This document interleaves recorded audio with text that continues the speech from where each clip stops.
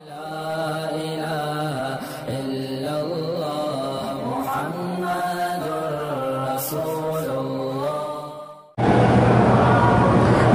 گزارش یہ ہے کہ تبلیغی جماعت کا اگر عمل دیکھیں، ساتھ جا کے دیکھو، جو غلطی ہو ان کو بتاؤ کہ یہ تمہارا کام، صرف دور سے بیٹھ کے اعتراض نہ کرو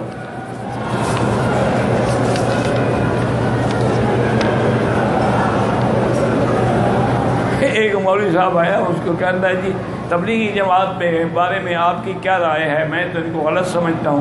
میں نے کہا بھی تم پڑھے لکھے ہو، مولوی ہو، نوجوان ہو، تم تین دن کے لیے یا سات دن کے لیے ان کے ساتھ چلے جاؤ۔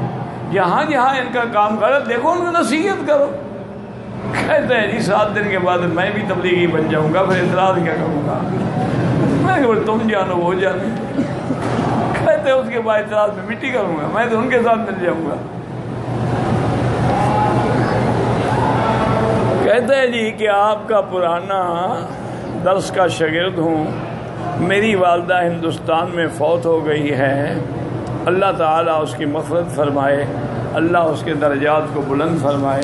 اللہ مغفر لنا ولجمیع المسلمین والمسلمات والمؤمنین والمؤمنات حیاء من اموات بھائی، جو آپ کے ملکوں میں جماعتیں ہیں نا، مجھے ان کا کوئی پتہ نہیں ہے۔ میں کیسے فیصلہ کر سکتا ہوں کہ فلاں جماعت کی جب مجھے بارہ سال ہو گئے، پاکستان بھی نہیں کیا مجھے کیا پتا آپ کی جماعتیں کون کون سی ہیں اور کیا کیا کر رہی ہیں۔ جو اچھا کام کرے، اچھے ہیں، جو برا کام کرے، برے ہیں۔